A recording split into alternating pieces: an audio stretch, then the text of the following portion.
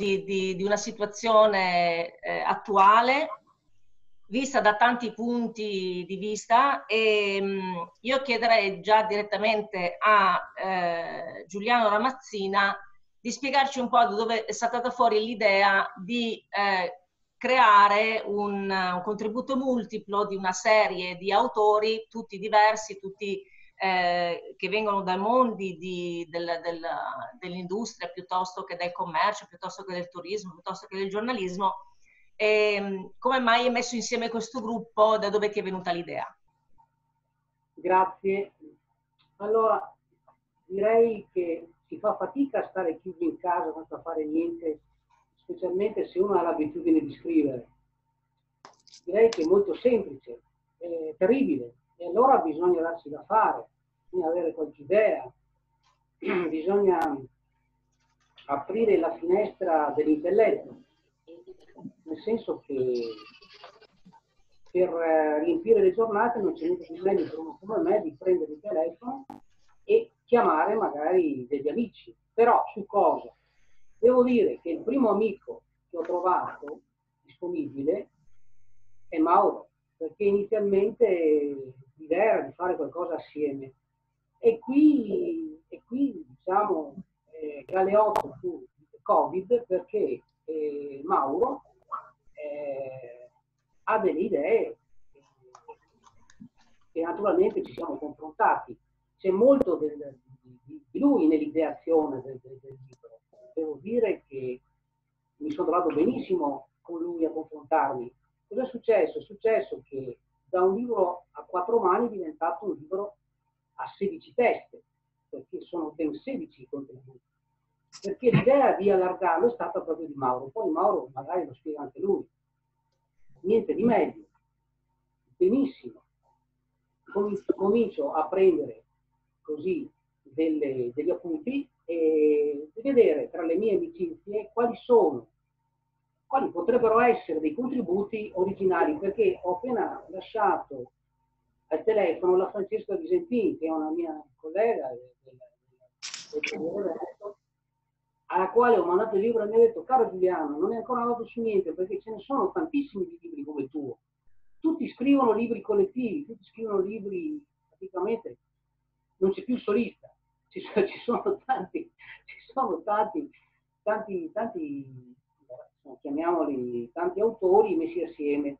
Anche questa è un'altra cosa che naturalmente io avevo valutato e che abbiamo valutato anche con Mauro, non era un'idea originalissima, però qual è che, cos'è che fa la differenza? È di selezionare gli autori cercando di dare un senso ai loro contributi e soprattutto di costruire, di costruire un libro trasversale collettivo e trasversale. Collettivo perché mai come in questo momento bisogna fare squadra. E il coronavirus è una brutta bestia, è un mostro e naturalmente forse stare assieme, confrontarsi, dialogare è la cosa migliore. Finirà anche, finirà anche questa, questa situazione di emergenza. Però qualcosa, se qualcosa resterà, secondo me, è proprio questo. È lo stare assieme, di trovare qualcosa di comune. Tra l'altro devo dire che ho trovato in tutti questi amici anche solisti, perché scrittori come Matteo Strucchi e eh, Nicolai Lili sono due solisti che si sono prestati, hanno dei contratti eh, con delle grandi case editrici e non hanno avuto esitazione a collaborare, a entrare in, questa, in questo mio progetto, gliel'ho spiegato e così che si, mettendo assieme, mettendo assieme vari mondi, l'università, la letteratura, la politica, perché ci sono dei contributi, per esempio, di un politico navigato, ma di grande intelligenza come Lorenzo Cesa.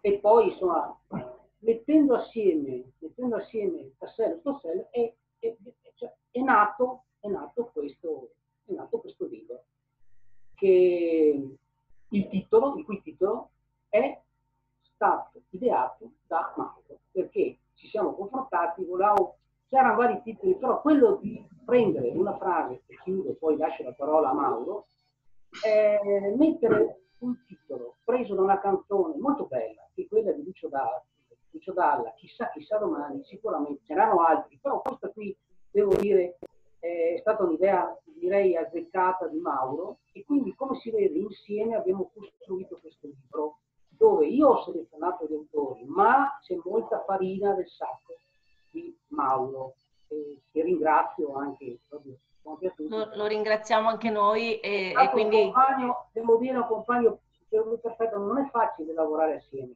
Eh, devo dire che io mi sono trovato molto bene con lui nel confrontarmi le idee, abbiamo trovato proprio subito una amalgama nella specificità, non siamo uguali, però insomma intellettualmente abbiamo, abbiamo armonizzato bene ed è venuto fuori questo figlio, questo libro che è sempre evento quando nasce un libro.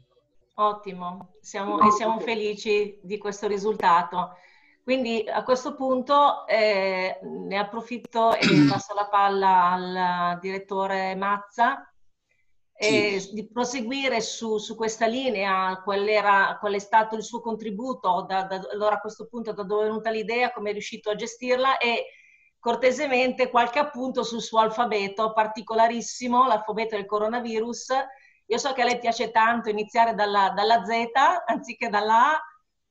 L'ho sentito concludo, concludo l'intervento la Z. Stavolta esatto. vado in ordine alfabetico.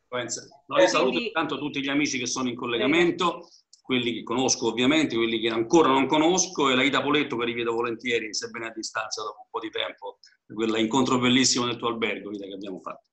Allora, io in premessa dico anch'io mi sono trovato molto bene con Giuliano, io non sono un solista, io sono sempre, per 40 anni ho lavorato non da solo, perché la vita della redazione impone di lavorare con gli altri e spesso anzi si lavora come capita per i parenti, i colleghi non si scelgono, no? Quelli che ti trovi, con quelli devi lavorare. Poi, avendo avuto la fortuna, diciamo, la possibilità e la responsabilità di, di ruoli direttivi e dirigenziali, a quel punto non, posso, non potendo allontanare gli incapaci, sceglievo per starmi più vicino quelli che consideravo migliori professionalmente e umanamente. Con Giuliano da questo punto di vista è splendido perché quelle che sono le mie carenze, cioè il senso pratico, il senso dell'organizzazione, eh, Giuliano in questo è, splendido perché non avere questo gravame di, di, di, di cose, di, impegni, ecco, l'editore, l'invio delle copie, coordinare, chiedere gli interventi a chi ha dato l'impegno, però poi ritarda nella consegna. Questa è una cosa che io mi ritengo incapace di fare, ma supplisce Giuliano e mi lascia quindi il tempo di trovare qualche bra- buona chiave. Il titolo, io avevo un dubbio, forse Ramazzina nemmeno l'ho mai detto, io ero un dubbio tra chissà, chissà domani di Lucio Dalla e perché domani sei migliore da Baglioni, perché quello però dava da, un, dava da un'indicazione. Siccome poi io detesto la retorica, tra le altre cose che detesto, allora questo andrà tutto bene, ne usciremo migliori, cantiamo dai balconi. Io non ne potevo più già in pieno coronavirus, in piena fase 1 di questa retorica. Non volevo evitare che almeno il nostro piccolo contributo, fatto col cuore e con un po' di ragione, eh, non, non si unisse al coro della retorica. Altra cosa che io detesto è la, la tuttologia, detto da un ex direttore di Rai 1 fa una certa impressione. Cioè, quando io ascolto Alba Parietti che insegna ai virologi il, il loro mestiere, o quando sento Alessandro Cecchi Paone che spiega l'uso corretto delle mascherine, eh, io, io, provo brividi lungo la schiena, qui si parla di cose serie, non si parla del gossip dell'ultimo fidanzato o fidanzata nel mondo dello spettacolo si tratta della salute della gente. Allora ricordo la sicumera con cui Cecchi Poni diceva no, la mascherina devono portare soltanto i contagiati, non quelli sani, perché io non capivo questa, mi sembrava così idiota questa affermazione che gli rimbalzava nella mente la, la diceva con forza, perché uno con più forza dice le cose in tv e più, più, più lo richiamano per prendere il gettone. No? Questo, andando a stringere, e così finisce la, la, la, la, morale della favola, è il gettone di presenza. Se uno incide e urla più degli altri, prende il gettone eh, più volentieri che lo richiamano, più volentieri gli organizzatori. Questa era la cosa con cui io polemicamente mi sono accinto a questa modesta opera, ma fatta davvero col cuore. Tanti hanno fatto diari, hanno fatto riflessioni, anche più autorevoli di noi naturalmente. Ma questo ha il pregio di essere agile, di scrittura e spero anche di lettura. Eh, Enza dice io amo la, la Z, ma amo, amo, anche ricordare la A, perché la, la mia A del mio alfabeto del mio piccolo vocabolario, è la di ante. C'è un ante, c'è un dopo coronavirus.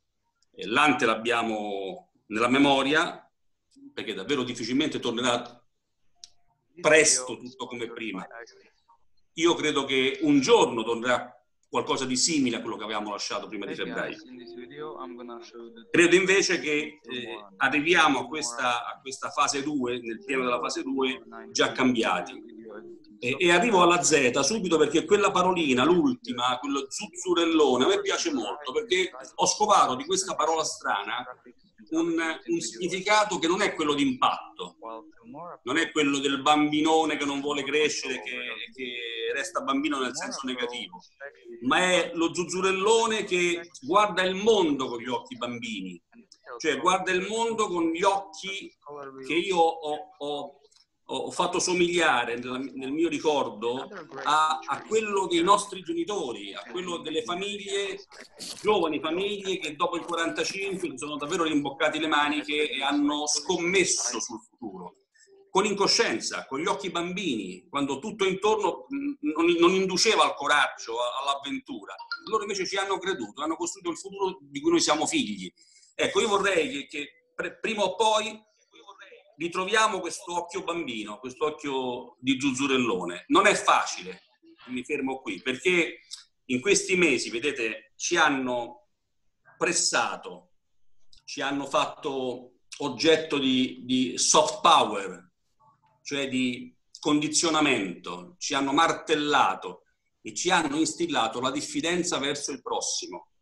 Se spiace non ci sia Don Bruno, una sua riflessione sul punto sarebbe stata molto interessante ci hanno fatto diffidare di chi ci è vicino, del nostro vicino di casa, del nostro bottegaio, del nostro giardiniere, del, dell'amico che vediamo per strada, ma o fingiamo di non vederlo grazie alla mascherina o attraversiamo il marciapiede. Questo è pericolosissimo perché ci allontana dal senso di comunità senza il quale non si riparte senza il quale non, non, torniamo a essere un paese che guarda al futuro con qualche ottimismo. Siamo appesi alle elemosine nell'Europa, questo è un altro tema molto più politico che non rientra nella mia riflessione in questo momento, ma ecco, dobbiamo ritrovare il senso di, dell'essere comunità, il piacere dello stare con gli altri, dello stare insieme. Poi io che sono romano, trapiantato nel nord-est, come battuta, ma è battuta fino a un certo punto, ve la regalo e mi fermo, quando si è detto, eh, da domani potete uscire, a me è venuto distinto dire non si può fare tra qualche giorno, perché subentra quel misto di pigrizia e diffidenza e del, dello stare a guardare come, come fanno gli altri prima di avventurarsi in una situazione che resta ancora molto precaria e ancora di, di, di una precarietà che, che, che, non sa di futuro, sa ancora troppo di presente. Io mi sono aggrappato, vi confesso, in amicizia a questa piccola cosa. Mi aggrappo ogni giorno ai dati eh, dei contagi quotidiani e se quella cifra è meno del giorno precedente, io affronto la serata con più di levità, sperando che quel virus maledetto, così come è venuto, se ne vada per conto proprio da un'altra parte. Grazie direttore, intervento veramente molto apprezzato, grazie.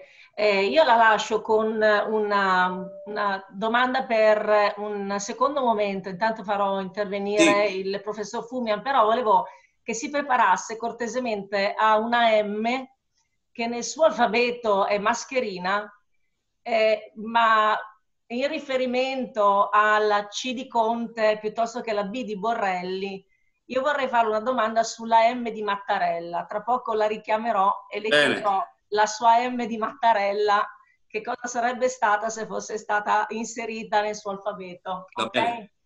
Passo un attimo la parola quindi al professor Fumian. Grazie, professore ordinario di storia contemporanea. Lei ha fatto un intervento molto peculiare e preciso su richiamando le vecchie pandemie e eh, posizionandoci eh, in, in, quella attuale. Vorrei leggere un um, eh, breve paragrafo eh, sul, in conclusione del suo intervento per poi porgerle una domanda. Lei dice tra le lezioni per il futuro bisogna comunque annotare il fatto che i comportamenti umani sono più elastici e tolleranti di quanto la viziata società dei consumi potesse aspettarsi. La gente si acconcia ordinatamente per file, per, eh, alle file per il pane, ergo il genere umano non ha smarrito i promigeni di resilienza nelle difficoltà e non era scontato dopo 75 anni di pace e prosperità. Dopodiché lei passa e dice... Sento, Bianca, Uh, ah, niente. Manca cioè una politica che con coraggio indirizzi questa capacità verso esiti migliori per tutti. Vorrei che eh, lei ci facesse, eh, facesse una considerazione eh, libera su quello che lei intende per lezioni che noi dovremmo aver imparato, che la nostra società politica avrebbe dovuto imparare. La parola lezione è riportata diverse volte da tutti voi autori, è un po' una, eh, un luogo comune che si ripete con i vostri punti di vista, ovviamente molto specifici. Eh, ci può approfondire un, un attimino questo, questo argomento, questo punto? Grazie. Ci provo. Intanto buonasera di nuovo a, a tutti voi, a tutte e tutti voi. Vi ringrazio. Eh, mi scuso perché, come vi dicevo prima, alle 18.30 ho un altro collegamento, quindi dovrò eh, salutarvi. Ehm, eh, la, noi siamo bravi, bravissimi a prevedere il passato, quindi eh, eh, insieme a Giovanni Gozzini eravamo un po' in difficoltà nel ragionare sul domani e sulle ipotetiche elezioni. Io credo che eh, tutto dipenda dal, dal, dall'impatto che poi il virus avrà, nel senso che davvero ne sappiamo ancora molto poco. Non sappiamo se ci sarà una seconda ondata, non sappiamo se sparirà, non sappiamo se nell'arco di un anno, due o mai ci sarà il vaccino, non sappiamo quale sarà il bilancio. Eh, quello che di sicuro ci ha, ci ha insegnato subito, eh, ci ha ricordato che siamo un ecumene umano uh, non divisibile, eh, che il virus eh, colpisce, colpisce, tutti. E ci ha ricordato questa cosa banalissima che è trasversale a tutto lo stucosissimo dibattito su globalizzazione sì, globalizzazione no, che comunque sia problema globali e ci vogliono soluzioni globali. E quindi eh, un problema come la pandemia, come una pandemia, dovrebbe essere il, la, il, il più elementare eh, suggerimento a, cercare forme di, di, cooperazione in ogni ambito, nell'ambito scientifico, eccetera. Quindi a, a eh, ridurre al minimo quelle risposte isolazioniste, protezioniste, etnocentriche, eccetera, che combinano, combinano, combinano solo guai da questo punto di vista. Eh, quindi la ricerca, cioè, se da questa avventura della pandemia, che ripeto è, è legata molto anche a, una, a, un mutamento culturale, cioè il fatto che la, la, la ricerca scientifica degli ultimi decenni ci fa immaginare che riusciamo a salvare tutti. Eh, nel 1918-19 nessuno ci pensava a questo, quindi l'hanno, l'hanno subita, hanno subito lo tsunami del... Noi non sappiamo ancora se, quale sia il grado di letalità poi alla, alla fine dei conti, però dal punto di vista culturale eh, la, la, pandemia eh, ci fa immaginare che si possa e si debba eh, salvare, salvare tutti, quindi quando colpisce in certi cluster precisi, regionali, New York piuttosto che la Lombardia, eccetera, fa, fa, fa dei veri disastri. E, e la, anche se, su, se, sul piano demografico noi la, la letalità non la vedremo, non si muove l'asticella della, perché siamo 7 miliardi e mezzo, quindi sarà una percentuale eh, non calcolabile, però in, quel, in quelle zone ne, ne, ne, abbiamo subito un contraccolpo terribile. Ecco. Eh, no, io non credo che cambierà molto, nel senso che eh, sarà un cambiamento a macchia di leopardo, cioè eh, tutti avremo imparato molto meglio a usare il computer, eh, risparmieremo un sacco di tempo, tutti coloro i quali possono permetterselo appunto e fanno lavori dove il computer possa sostituire, che ne so, la ramazza in strada piuttosto che guidare il camion. E, e, e, quindi lì ci saranno delle, delle, delle, trasformazioni radicali. Dopodiché dipende per esempio dal digital divide, cioè lì vedremo chi è connesso e chi è no e si riproporranno tutta una serie di, di problemi. La questione della politica è che deve rispondere semplificando al massimo i rapporti tra Stato e rendendo trasparenti i rapporti tra Stato e cittadini. Non diamo la colpa, del, eh, la colpa di tutto al Covid. Il Covid ha scoperchiato problemi che sono lì da decenni nel caso italiano, ma in qualsiasi altro, in senso, qualsiasi altro paese. Il nostro problema è riformare completamente i rapporti tra Stato e cittadino eh, riformare la pubblica amministrazione, semplificare. Se i soldi che hanno promesso e stanziato poi non arrivano ai cittadini, è un problema. Eh, quindi eh, in questo senso il Covid potrebbe, eh, potrebbe aiutare. Però io non credo che alla fine ci saranno mutamenti radicali, ahimè, di, di, di, comportamenti sostanziali. Dipende poi, se, se, dura tre anni, i comportamenti diventano, eh, senz'altro si adegueranno. Ecco. Eh, dico solo una cosa, eh, dopo la pandemia della spagnola, e mi, e mi, fermo, vi chiedo scusa per tutto il tempo che vi ho rubato, eh, ci misero dai 5 ai 6 anni prima di ritornare a prendere il treno con, eh, modo, con sufficiente confidenza. Però sono tornati, sono tornati, tutti a prendere il treno e, e, e la faccenda è morta lì, è stata, è stata dimenticata, diciamo assorbita, ingoiata nel, nella tragedia della guerra. Insomma. Quindi... Sono, sono, circolate anche bellissime immagini sulla pandemia del, del 1918 eh, con gli stadi pieni di persone con le mascherine che assistevano alle partite. Penso, eh, mi corregga se sbaglio, il, il, prossimo passo è, questo, è verso il, pub, il, grande pubblico, quello degli stadi, no? quello dei concerti. Eh, come, come pensa che verrà affrontato dalla politica questo, questo specifico argomento che poi è molto caro ovviamente agli, agli italiani, agli sportivi, ma anche eh, l'idea di, di, trovarsi davvero insieme in enormi agglomerati, non solo in piccoli gruppi.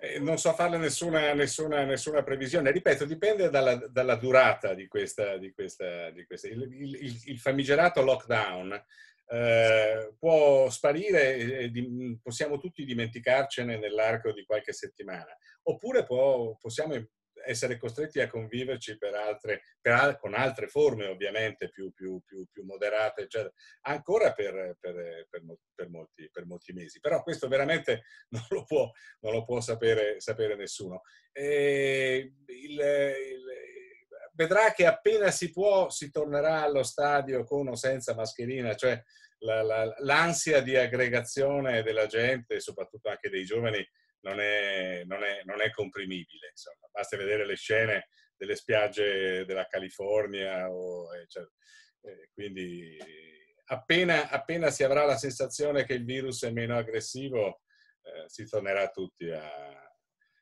a fare quello che si faceva prima. Probabilmente in molti settori e in molti ambiti perdendo, perdendo uno, una grande occasione. Ecco, e ce lo auguriamo molto presto. Eh, dottor Flumi, noi eh, la, non sappiamo, non so, la dobbiamo salutare, eh, lei rimane aspetta, ancora sì, con esattamente, noi? Esattamente, vi devo, vi devo salutare, mi dispiace non poter eh, discutere con voi e davvero vi ringrazio tutti.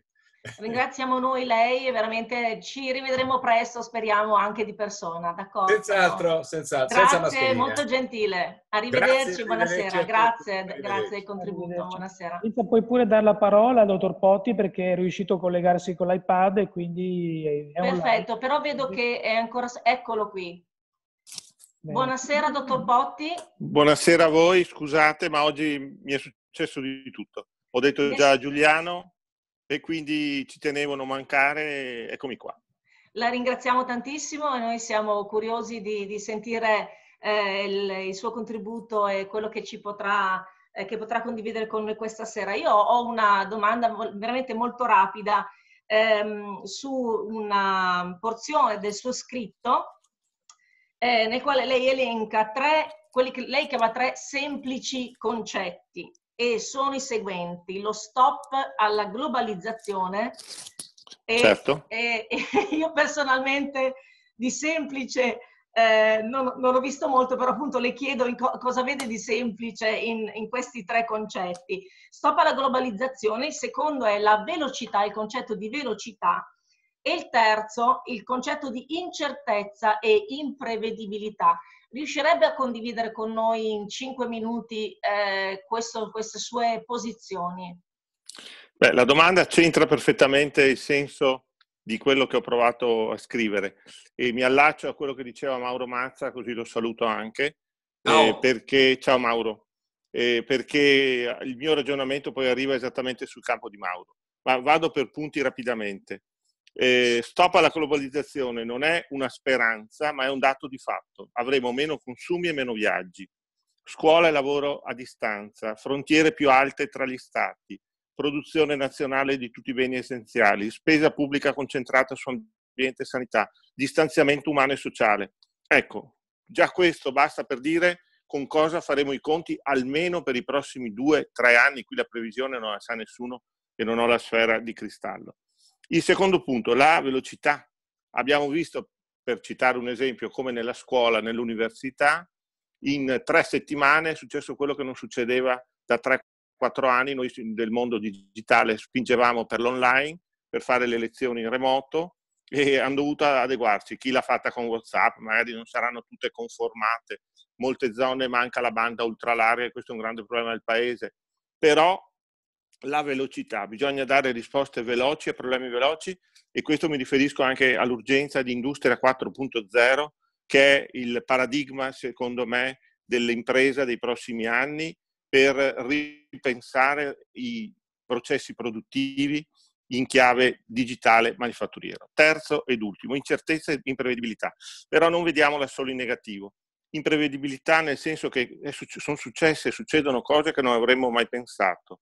In matematica eh, imprevedibilità significa caos, ma non, non ci deve spaventare perché io sono convinto che se seguiamo le cose, ecco quello che farà la differenza, con competenza e coerenza, l'incertezza e l'imprevedibilità diventerà un fattore positivo. Ma, ma il finale mi aggancia a Mauro Mazza, eh, il dubbio che metto nel, nel capitoletto che, che, ho inserito nel libro, eh, che siamo animali, siamo animali che dimenticano molto in fretta. Io vedo già in questi giorni alcuni comportamenti che stanno cambiando e siamo alla fase 2, figurarsi alla fase 3. Cioè ritorniamo, passatemi il termine, cattivi o buoni come eravamo prima. Eh, nascerà, allora questa è la domanda che, con cui concludo, nascerà una nuova solidarietà globale o ci rinchiuderemo nei nostri miseri interessi di bottega? È presto per dare una risposta e sicuramente non sono io all'altezza per darla, però il discorso di Mauro Mazza mi convince molto. Certo, infatti anche lei parla e si fa la domanda, si pone la domanda, ma questa lezione ci servirà a riscoprire tanti valori che abbiamo lasciato troppo spesso per strada? Il contatto umano, come sapersi gustare la bellezza di una passeggiata in compagnia? Sapremo mettere da parte l'edonismo fino a se stesso e grandi e piccoli egoismi? Sapremo ritrovare tutto questo?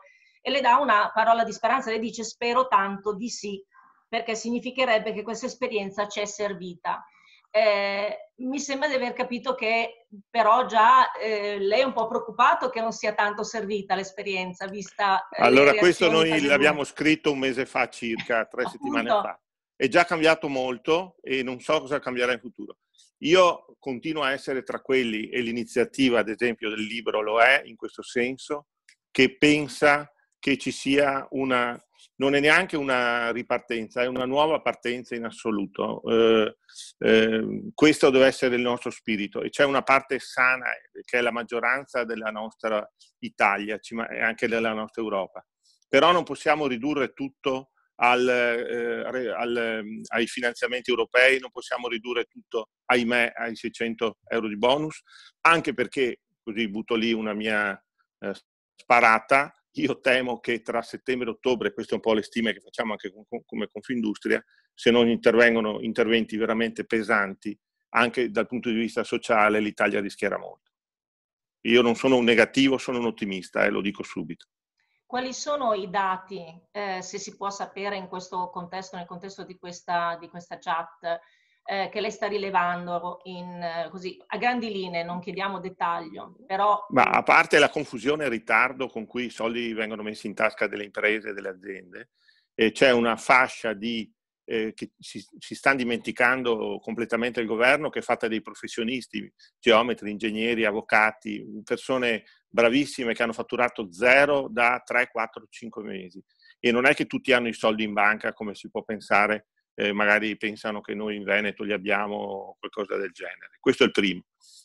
Poi va a terminare la prima parte di cassa integrazione, infatti noi chiediamo che venga prorogata almeno fino a fine ottobre, questa è la prima copertura che va trovata subito con i soldi dell'Europa e questa è una questione molto seria. Terzo, c'è una fascia di giovani start-up dove noi facevamo i convegni, i contest, tutte queste belle cose qui che, erano, che sono il nostro futuro, però la banca al vecchio industriale che ha un capannone e un macchinario che magari sono anche arrugginiti, gli dà i soldi volentieri. Al ragazzo che ha idee, brevetti e quindi idee di futuro, diritto d'autore, cose impalpabili, ecco la parola, eh, la banca fa fatica, fa molta fatica. Io ricevo moltissime note, lettere di ragazzi che sono nei coworking, che sono nei Fab Lab, che soffrono questo momento difficile e al di là dell'intervento c'è una quota eh, sulle start-up in termini di finanziamento, ma quando noi diamo la liquidità, eh, non è per tutti, cioè la liquidità va bene per i grandi, le grandi imprese, già le, le medie se ne fanno qualcosa, le piccole peggio ancora, perché il tema vero eh, la liquidità a fondo perduto ha un senso, il prestito che devi restituire nel corso degli anni, specie se gli anni sono sei, eh, non è un grande aiuto per chi è molto molto piccolo, perché non ce la fa. Allora noi chiedevamo di andare a 10-15 anni, specie per queste start-up, per questi giovani. Lei mh, mm, ha la speranza che il vostro, il vostro grido, la vostra richiesta venga ascoltata, perché poi passerò eh, nuovamente la parola al dottor Mazza proprio riguardo alla sua opinione sulla presidenza eh, del Presidente della Repubblica Mattarella rispetto al Presidente del Consiglio Conte. Le lascio ancora due minuti. Le, la, la, forse vi spiazzo dicendo che prima di pensare a Mattarella, a Conte, io ho fiducia in Carlo Bonomi. Abbiamo un presidente di Confindustria con le idee chiare, quadrate, eh, che stimo anche, e quindi io mi aspetto che le associazioni, la società civile, gli imprenditori hanno sempre, in questo periodo, tre quarti della cassa integrazione la stanno pagando le imprese, non la sta pagando lo Stato. Siamo all'80-70%, questi sono i dati oggi. Perché non sono arrivati i soldi? Quindi l'imprenditore mette di suo, mette i soldi che ha messo da parte in tanti anni di lavoro.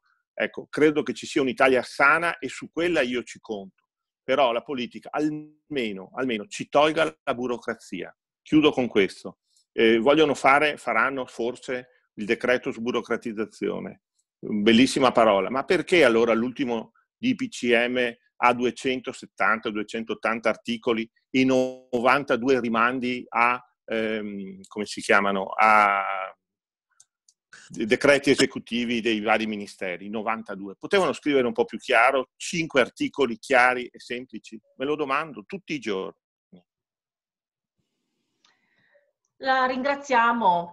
Vogliamo non essere... voglio togliere il fiato, eh? al contrario, io sono ottimista e ripeto, la fiducia ce l'ho nelle nostre imprese e nei nostri imprenditori in questo modo. E noi Poi, siamo rappresentanti di quelle imprese e sappiamo, ci prendiamo la responsabilità e ce la faremo perché è vero, la forza viene da noi e noi spingeremo per andare avanti. E per dire che ce la faremo sono assolutamente d'accordo e allineato e, e ci credo tutti i giorni, tutti i giorni. Ottimo. Io la ringrazio veramente, spero di poterla anche conoscere di persona. E Grazie. Lei rimane collegato, sì? Io una decina di minuti molto volentieri, poi purtroppo questa cosa che mi è successa sono uscito da pronto soccorso da mezz'ora, eh, devo, devo, medicare. Non si preoccupi, ne facciamo tanti auguri. Allora Grazie. passo la parola al direttore Mazza e la ringrazio ancora, dottor Potti. Grazie. Sì, Enzo, io farei dei flash. Eh, prima di parlare di Mattarella, lo faccio anche volentieri. Eh, sulle cose che diceva Potti, molto stimolanti, meriterebbero altrettanti dibattiti, ma proprio per, per, per telegrammi. Io credo, per esempio, in tema dell'ultimo aspetto sull'eccesso di burocrazia. Io credo che quel decreto con tanti commi, con tanti articoli, sia un classico di una politica che preventivamente vuole dire io ho fatto, però se poi la cosa si blocca non, non venite a chiedere a me. Perché vedi Gianni, al primo intoppo di, una, di un'operazione, parliamo del Ponte Morandi, che è un po' il paradigma della sburocratizzazione, diciamo, no? si è fatto in fretta e bene, perché è andato tutto bene, finora è andato tutto bene. Ma il primo magistrato che alza il ditino e scopre un grano di sabbia nell'ingranaggio della, della macchina, esce Roberto Saviano in diretta da Fabio Fazio sulla piaggia della Repubblica e dice fermi tutti, qui la mafia ha messo le mani su quella cosa importante, sui soldi dell'Europa, dell'Italia, degli italiani e quant'altro. Questo è il vero problema, cioè è, si ha la paura, paura che, che tutto possa crollare perché basta un non nulla la catena del controllo viene meno e i vari passaggi che garantiscono anche la politica le scelte della politica, eh, se si salta un passaggio si può infilare qualche, qualche malintenzionato. Questo quanto riguarda, non voglio giustificare, dico che però l'Italia è anche questo, è anche quello dei, dei profeti che, che, che, pontificano e della difficoltà di chi invece vuole fare e ha bisogno di fare per vivere e per andare avanti. Mm, altro esempio per restare sul tema più o meno, i, i finanziamenti europei decisi nelle ultime ore. Non è solidarietà il valore di riferimento che è subentrato miracolosamente, è l'interesse che è cambiato. Qualcuno molto avveduto, parlo della Merkel, ha capito che se c'è un'altra Grecia che si chiama Spagna e un'altra ancora che si chiama Italia, non è, non è necessario essere solidali con i paesi in difficoltà, è interesse della Germania che non ci siano altri casi Grecia in Spagna e in Italia. È l'interesse che è cambiato col coronavirus. Attenzione, non confondiamo l'interesse che muta con l'arrivo, l'avvento del, dell'Europa solidale. Non è così e lo vedremo nei tempi, nelle condizioni e negli interessi con cui questi soldi arriveranno, quando e se arriveranno in Italia. L'altro tema invece è molto, non è razionale, è, è, è anche subentra il sentimento, subentra come siamo fatti come esseri umani, è la smemoratezza. Io vedo nella capacità di dimenticare anche una componente che garantisce la vita all'essere umano. Cioè una persona o un popolo che esce da una tragedia, che sia personale, familiare, della comunità, come una guerra, come pensate a, quanti a Bergamo a Brescia hanno perduto due, tre, quattro familiari, molti amici in questa vicenda. Come si fa ad andare avanti e a ripartire?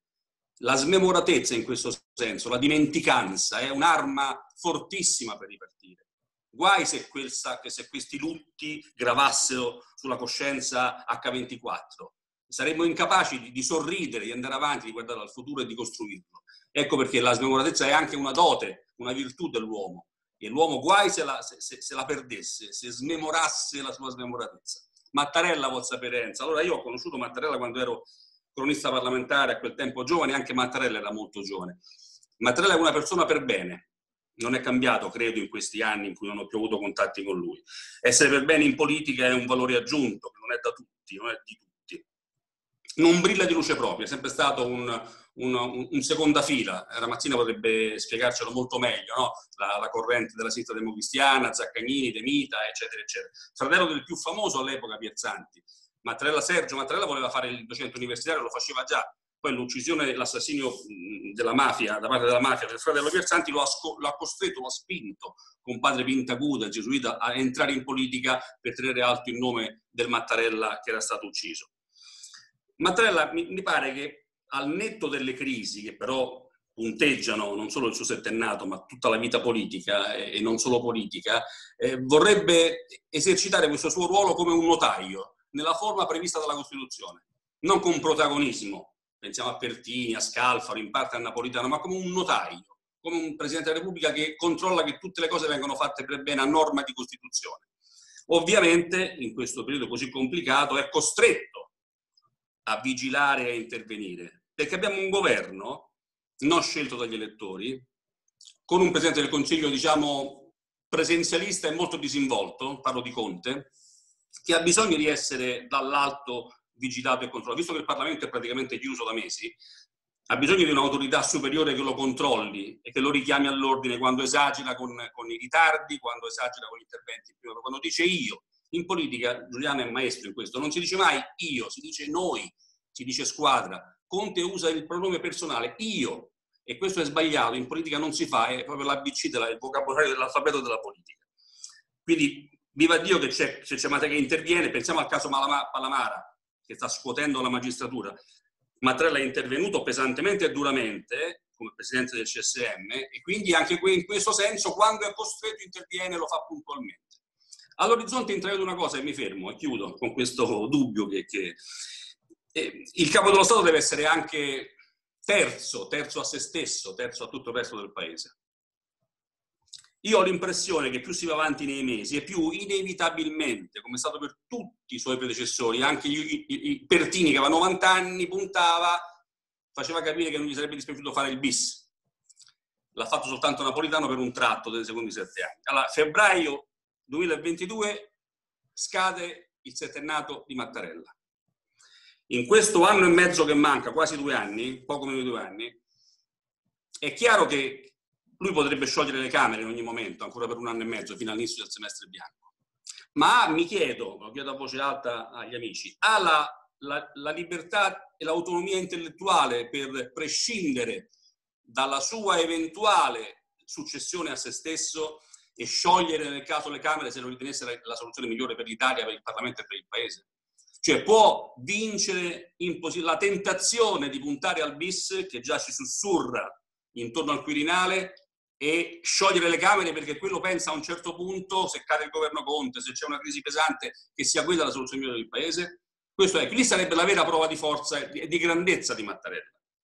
Se riuscisse a sciogliere le Camere, una volta che questo governo sembra mm, che possa guardare l'orizzonte molto lungo, dovesse cadere, lui dovrebbe dire forse è il caso di tornare alle urne, fare in fretta perché un governo autorevole è quello che serve a questo paese. Poi al Quirinale, quando sarà il momento, si vedrà, ma non, non condizionare le sue scelte all'eventualità del suo bis. Mi fermo. Grazie, grazie. Veramente riflessioni eh, estremamente importanti. Era, era, il richiamo che, che chiedevo, quindi veramente grazie, direttore. Passiamo a un altro argomento con la, la, dottoressa Poletto. Parliamo di turismo. Buongiorno, buonasera, anzi, benvenuta ancora. Eh, il suo intervento ovviamente è più specifico, eh, visto che lei è la, la, un'imprenditrice titolare del, dell'Abano Ritz Hotel Terme di Abano Terme e lei vi, ha vissuto e vive eh, una situazione eh, forte come quella del coronavirus nella, in quello che è il suo settore. Eh, io leggo nel suo intervento, mm, mi permetto, di citare eh, le, le sue, la sua citazione, tra virgolette, il, il, turismo, risposi, lei sta rispondendo alla domanda qual è il mestiere più antico del mondo, è un lavoro che produce, oltre che business, valori gra- grazie ad aziende non delocalizzabili. Quindi per lei il lavoro più antico del mondo, il mestiere più antico del mondo è il turismo.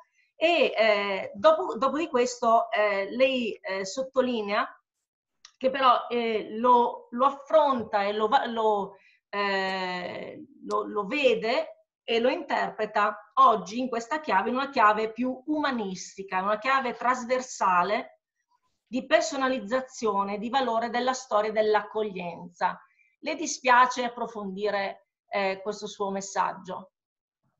No, anzi lo faccio con piacere, ringrazio eh, Giuliano e il direttore Mazza per aver pensato a, questa, a questo libro collettivo e, e solista nello stesso tempo perché il concetto di questo libro è esattamente il concetto del mio lavoro.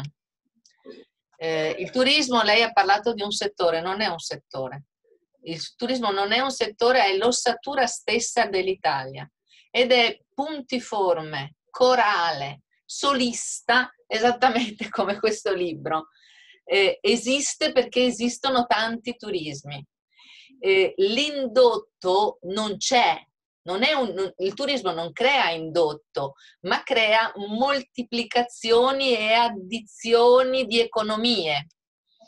Eh, quindi il valore di cui vado parlando non è soltanto il valore del fatto di essere aziende che non possiamo andare da un'altra parte come ha fatto la Fiat, un nome a caso, eh, e io non mi interesso di politica se non nel senso più stretto del termine, eh, ma eh, il problema è che noi insistiamo in un territorio, a questo territorio siamo legati e ne trasmettiamo tutto il portato culturale, economico, enogastronomico, folcloristico, tutto quello che vuole lei. Per cui eh, il fatto che il direttore abbia scelto nel suo alfabeto come H gli hotel, non era facile trovare un altro nome con l'H, devo dire, però mi ha dato, come dire, mi ha dato fiducia del fatto che il turismo, e ripeto, non è l'hotellerie il turismo, è l'Italia il turismo, soffre proprio perché non c'è nessuna cultura dell'ospitalità. L'abbiamo data per scontata, come un prerequisito, come quei zuzzerelloni che suonano il mandolino e servono la pizza. D'altro canto, d'altro canto eh, eh, c'è, un, c'è un problema di fondo, a mio avviso, drammatico, eh, che è quello per cui ho molto apprezzato il, il, il, il pezzo di, del dottor Ulderico Bernardi, perché lui dice una cosa molto importante.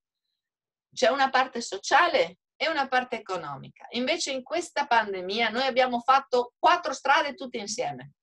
L'economia, la finanza, la fede, eh, le, le, le, la scienza, tutti insieme. Non è possibile scegliere quattro strade e precorrerle contemporaneamente. Bisogna sceglierne una alla volta e dare una serie di valori. Il turismo se l'è sempre dato il suo valore. Il suo valore sta in quei numeri che continuano a variare. Se lei guarda prima del coronavirus, il PIL del turismo era intorno all'11-12%. Siamo già arrivati al 15%. Non è che si è moltiplicato mo che tutti gli alberghi sono chiusi. No, no, è che finalmente stanno usando il pallottoliere. Quindi eh, quando parlo di turismo come il più antico mestiere del mondo lo facevo da donna a donna con ironia, eh, perché è citato nel Vangelo. La Madonna andò cercando un albergo libero. Eh, ma è ancora più antico di questo, sa? Perché eh, qui c'erano degli esimi, illustrissimi storici ma quando uh, la donnina uh, uh, di colore che veniva da, da, da, dai paesi lontani della, del Corno d'Africa arriva da noi e incontra il Neanderthal biondo, alto e bonazzo, voglio dire, ha fatto un viaggio e questo viaggio ha creato il mondo, capisce? Eh, e non starò a fare qui le cahiers de doléances di alberghi che siccome non sono stati chiusi, non possono aprire. Siccome siamo termalisti e quindi stiamo al Ministero della Salute, però l'igienizzazione e la sanificazione sia mai, cioè per me è un prerequisito e adesso mi vogliono insegnare come lo devo fare. Eh, non stiamo a parlare che un albergo come questo mio e come il mio altri eh, sono ristoranti, bar, alberghi, centri benessere e centri medicali. Lei capisce che macchina? Quindi a me istintivamente mi verrebbe da dire, ma perché devo aprire? Chi me lo fa fare a me? Se devo ritornare e sono d'accordo, ahimè, tra animali dimenticoni, come si dice in Veneto, magna de ha voglia che abbiamo mangiato questo periodo a fare pane, pane a casa, pizza e cose. Ma non funziona così. Non funziona così. La gente non è più buona e neanche più solidale. E io sono molto preoccupata che a settembre-ottobre qualcuno si armi e faccia qualcosa di grave. E se qualcuno lo farà, io sarò con lui. Perché a me hanno tolto la libertà di decidere e mi si continua anche qui a bacchettare come se fossi una bambina. Ho 60 anni e sono una nonna, quindi a me di lezioni non me ne può dare più nessuno. Quindi o assumiamo, come dice il signor eh, Bernardi, dottor Bernardi, veramente responsabilità e coscienza, rispetto dell'altro, o io dubito che questo mondo che Potti dice l'Italia sana. Boh, io non l'ho vista l'Italia sana. Dal 2008 l'economia italiana sta intubata. Quindi di che cosa stiamo parlando? La globalizzazione non va bene? Beh, però se continuiamo a parlarci così, non è che stiamo tanto andando meglio, eh? Perché se io non la posso toccare, non posso dire che ha due occhi neri bellissimi e che lei è riccia mentre io dritta e per una vita mi sono fatta la permanente da essere riccia come lei, mentre magari lei invece si stira i capelli, ecco capisce? Questo non va bene, questo non va bene. Il 4.0 come la mappatura che ci vogliono fare è una cosa gravissima. La tecnologia deve trovare la sua ragione di esistere al servizio a servizio. L'ultima cosa che voglio dirvi è che questa regione,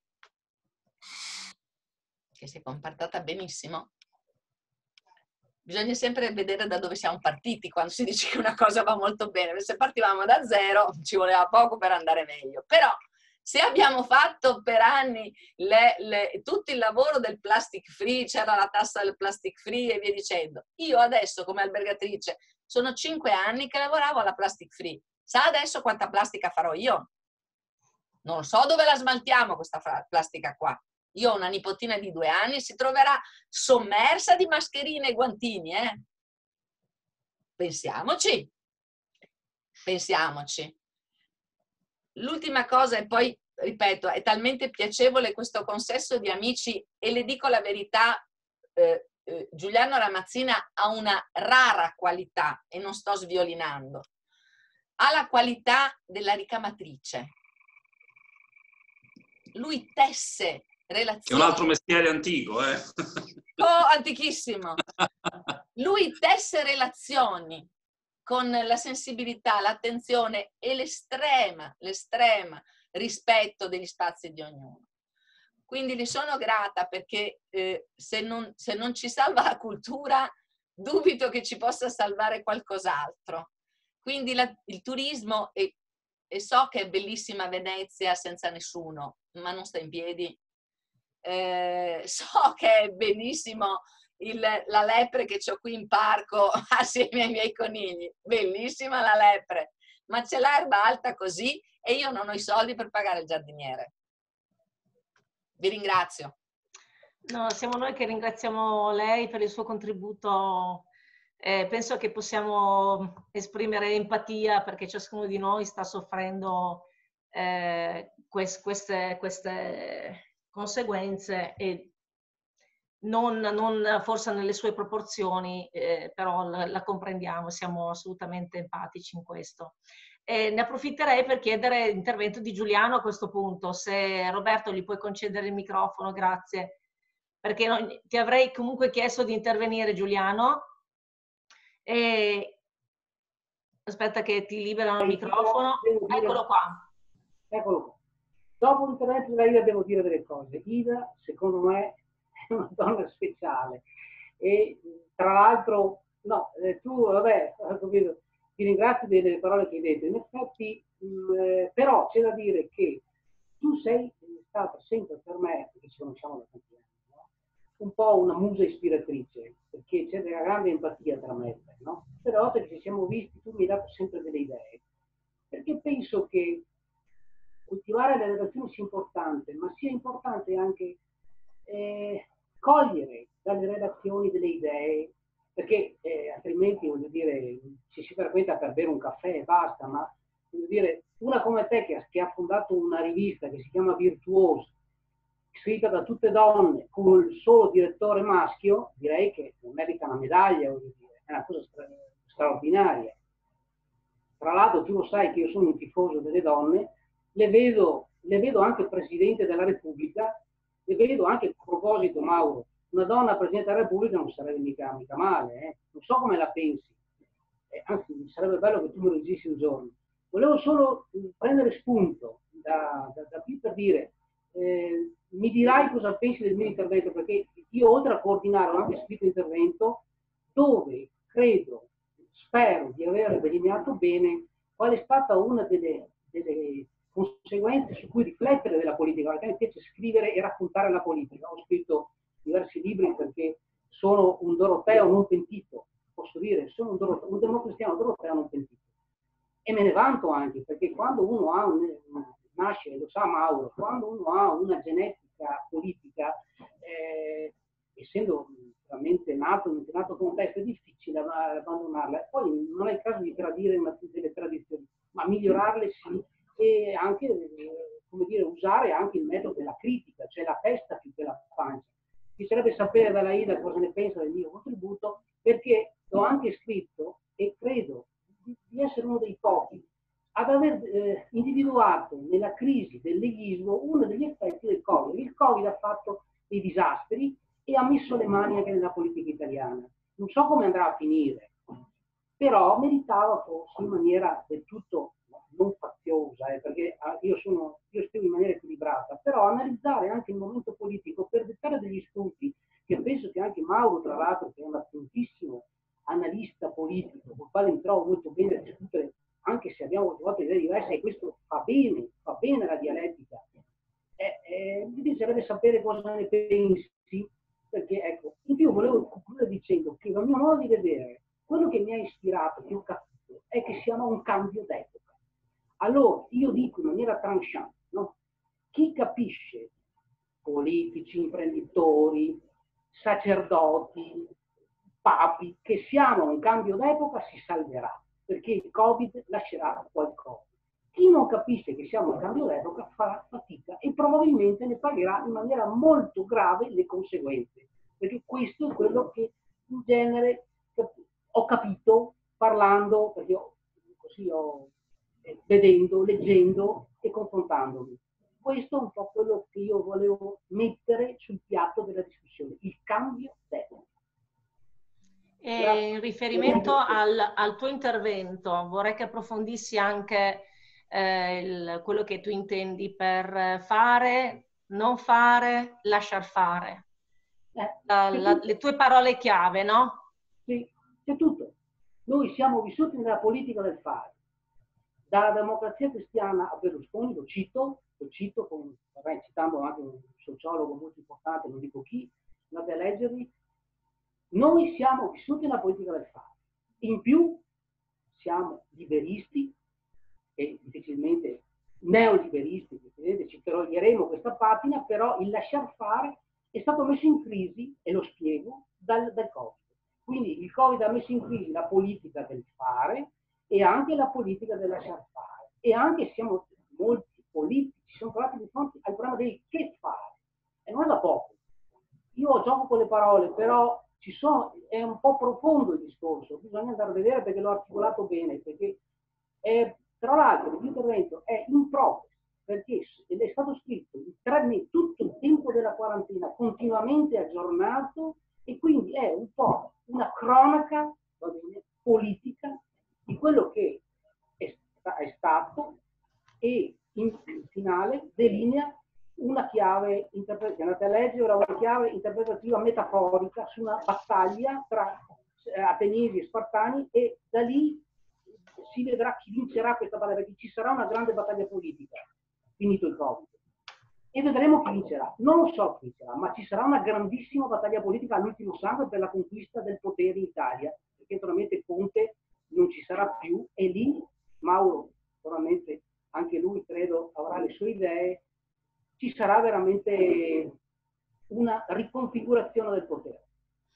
E parallelamente alla, alla riconfigurazione del potere, io direi che un'altra parola chiave che è sulla bocca di tutti e forse di troppi è la parola libertà. Io vorrei chiedervi, perché ormai abbiamo, stiamo già avvicinando all'oretta eh, di, di, questa, di, questa, chat, per cui siamo in via di conclusione. Vorrei chiedervi entrambi, a Giuliano e al direttore Mazza, la parola libertà oggi, con cosa ci possiamo lasciare, un, con che augurio ci possiamo, possiamo, lasciare questa sera per rivederci in un'altra circostanza, però eh, aspettandoci che la libertà eh, che ci è stata tolta per motivi di salute, motivi di, di, della sanità pubblica, ma che venga comunque riconosciuta per essere uno dei diritti fondamentali dell'uomo e del cittadino.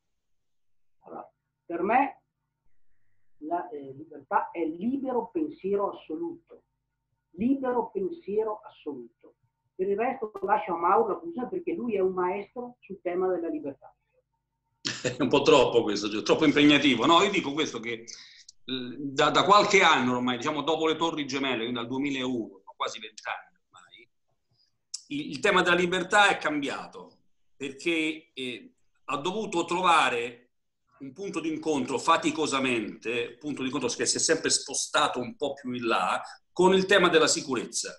Cioè abbiamo cominciato a cedere quote di libertà in cambio di un po' di sicurezza a partire dal 2001 negli aeroporti, nei movimenti, nella, nella, nella, nel passaporto, nei questionari che siamo costretti a riempire, però prezzi di libertà che abbiamo ceduto, quote che abbiamo ceduto sapendo che era nel nostro interesse lo si fa per voi, si dice in Toscana, no, lo, si faceva per noi. Allo stesso modo, scoppiata la pandemia, quote di libertà, lo stare chiusi in casa, è stato un sacrificio ritenuto necessario. L'impressione però, come l'ho avuta per l'eccesso di sicurezza troppo a discapito della libertà, comincio a nutirla anche in base a quello che sta avvenendo.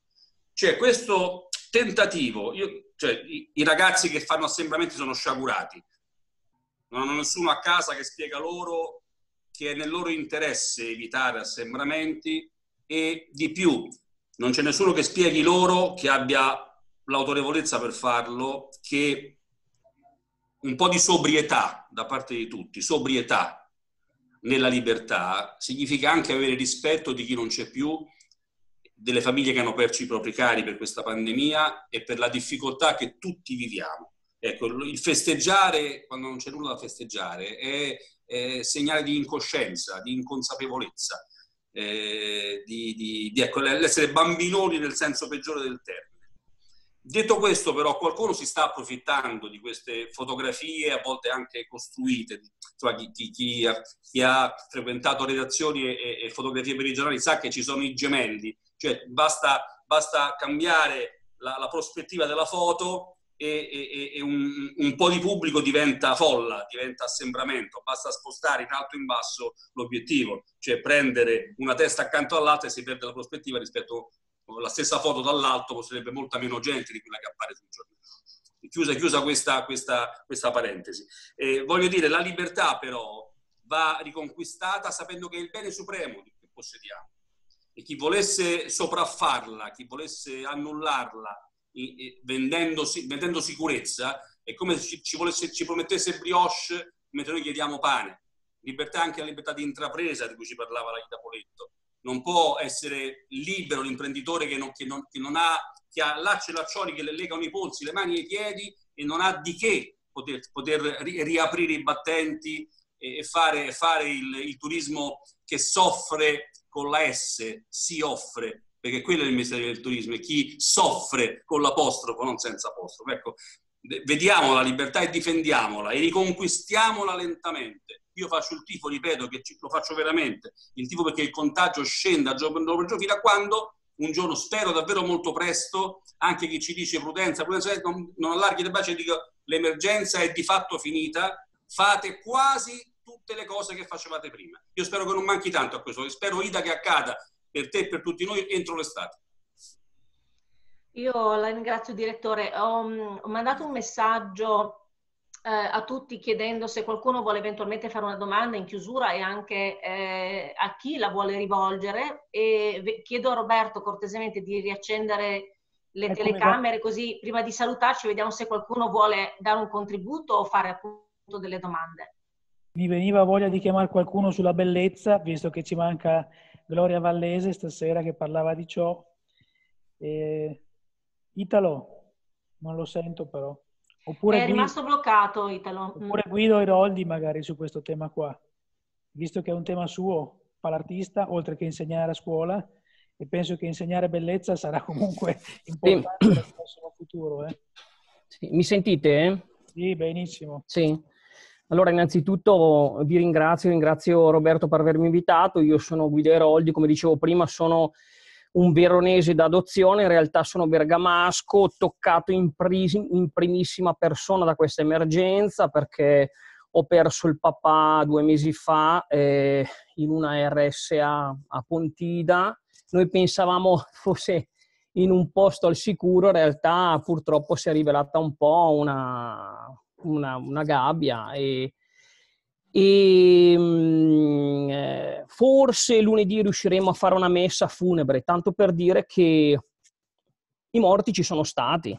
Io provengo da un piccolo paese in provincia di Bergamo di 5.600 abitanti dove vi posso dire che avrò, per, avrò visto almeno 10 papà di 10 miei amici morti, un paese di 5.600 abitanti che solo a marzo ha visto morire 55 persone, proporzione altissima tipo il 450% in più rispetto allo scorso anno.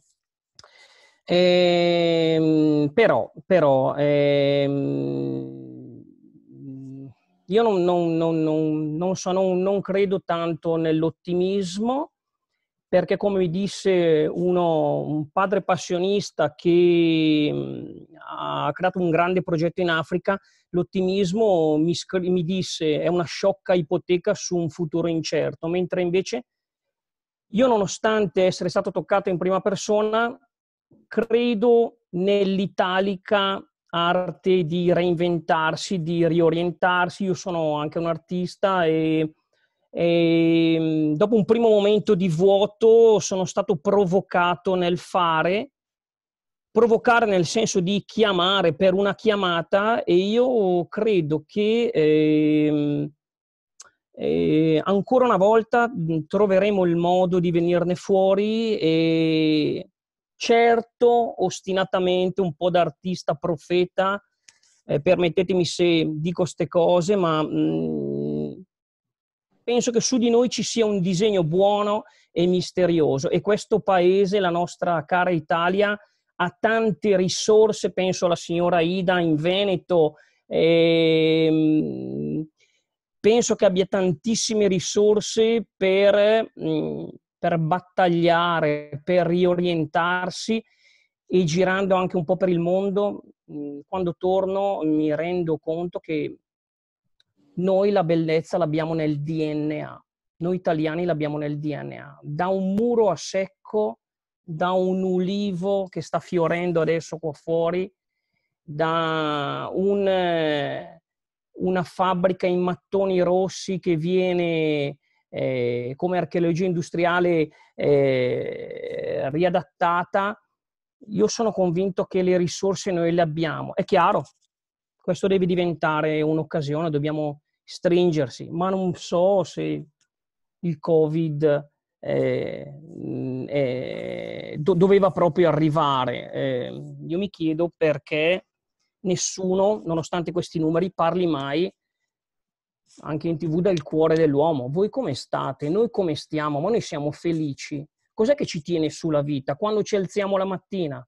Io da artista mi sento sempre questo diavolaccio col tridente alle spalle che mi rincorre tutti i giorni, tutti i momenti e, e secondo me queste domande eh, sono un po' sopite. Chissà che magari questo, questo periodo ci aiuti a, a rifarcele.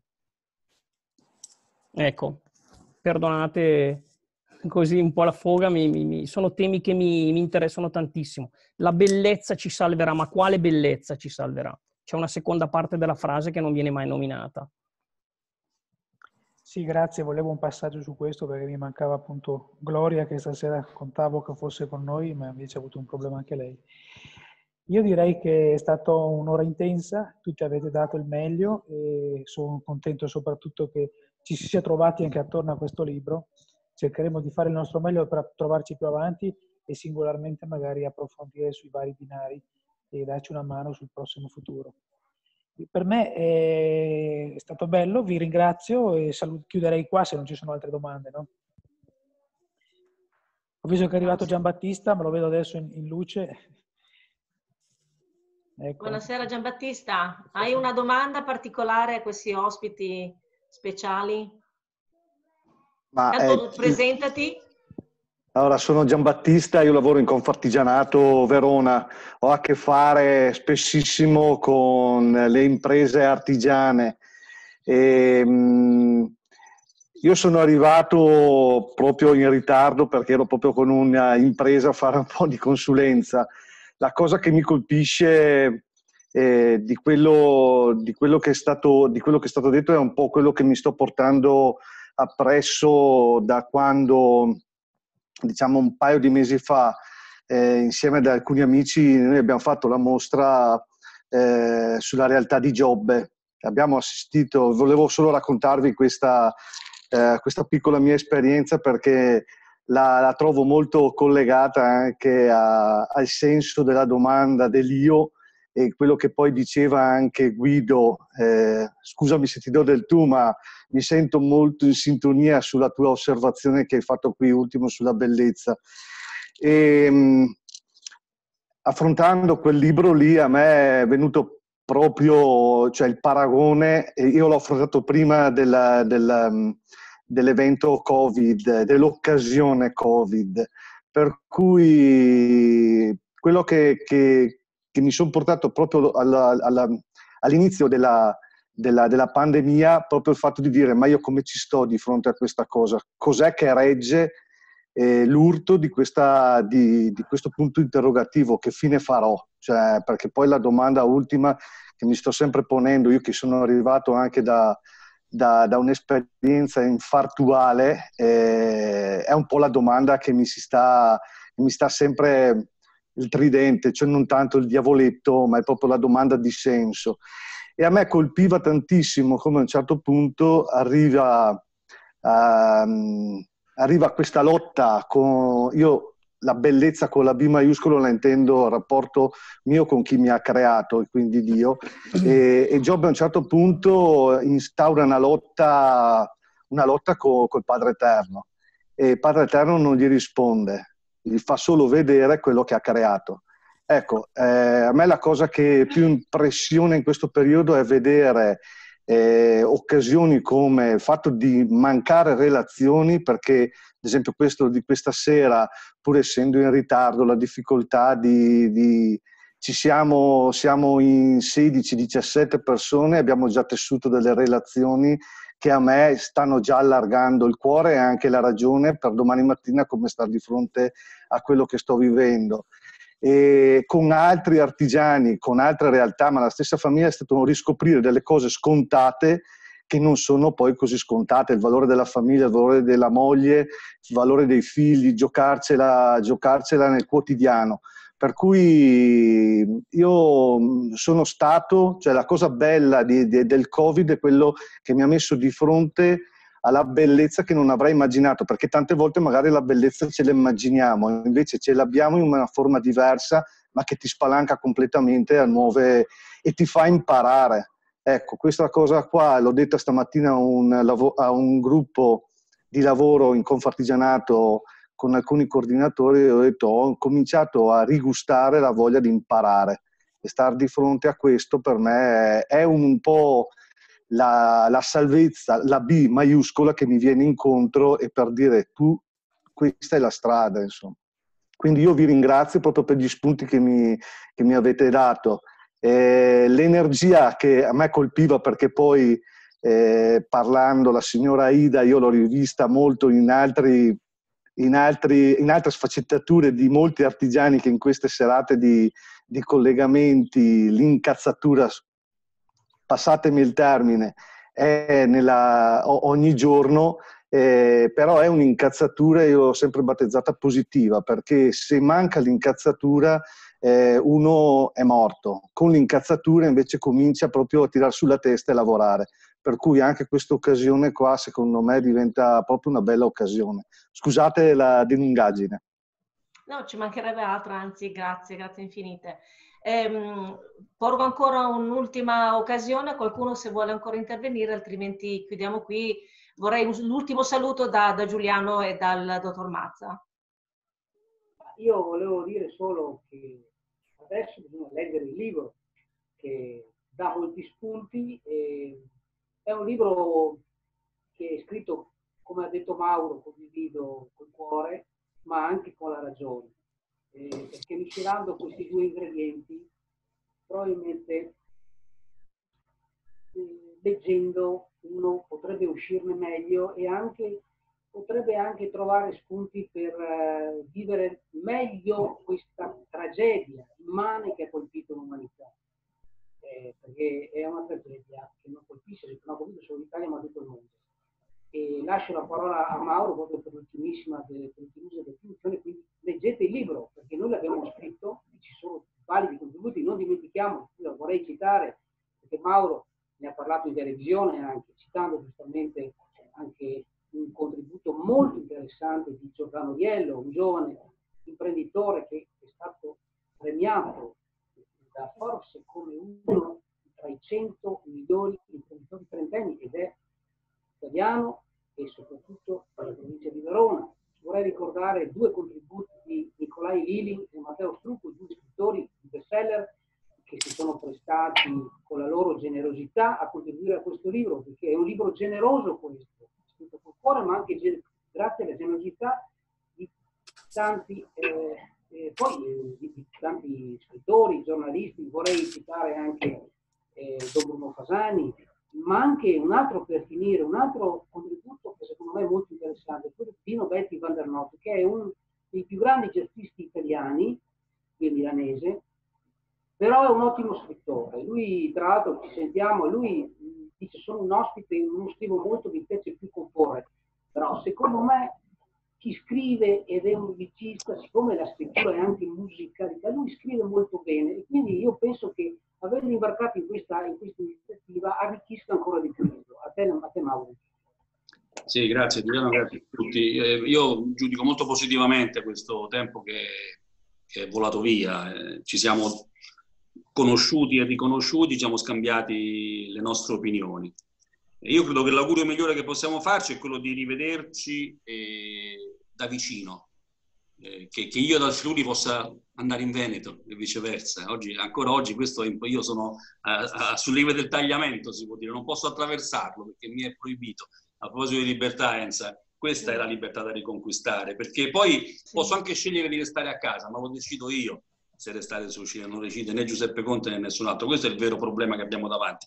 Se noi abbiamo dato con questo nostro lavoro un contributo di consapevolezza a chi avrà la cortesia e la bontà di leggerci, avremo fatto già un'opera buona, perché se, se affrontiamo consapevolmente ogni passaggio di questo nostro presente, possiamo pensare di essere liberi di sceglierci, di costruirci il futuro e soprattutto di avere un futuro, che oggi anche quello è in discussione, visti i, quadri, il quadro drammatico della, dei numeri dell'economia che, che, che, ci vengono parati davanti e che alcuni stasera ci hanno raccontato. Ecco, vivere consapevolmente il presente e costruire con questo il futuro, sperando di rivederci presto anche a proposito di questo libro, cioè magari fare in piena estate, ritrovarci tra noi eh, da vicino e commentare non tanto il libro come è andato, ma come va la vita e abbracciarci se è possibile. Quello sarebbe un altro segno di libertà riconquistata. Assolutamente. Grazie, allora penso che sia arrivato il tempo di, di concludere. Io vi ringrazio tantissimo, sono onorata di eh, avervi visto, conosciuto e di avervi tra i nostri autori. Noi siamo i vostri primi cheerleader, quindi faremo di tutto per divulgare i vostri contenuti e per fare in modo che eh, più, più, italiani possibile possano eh, essere incoraggiati. Scusa, posso dire una cosa? Ho visto che la Ida ci invita tutti da lei. Ho visto, un, ho visto uno scritto. Ha detto che è pronto lo spritz per nei prossimi periodi. Accettiamo l'invito. Grazie. Allora ci vediamo per lo spritz appena riaprono le fontane, eh, così può venire anche il dottor Mazza. un momento, c'è mia moglie Manuela che dice voglio salutare tutti, ma in particolare Ida Poletto. Un saluto affettuoso da parte di Manuela, Ida. Ciao, grazie a tutti. Grazie Ciao, a tutti. Benissime. Grazie ancora a tutti, buona serata, arrivederci a presto e dal vivo. Arrivederci, grazie. Grazie ancora, grazie. Buona serata.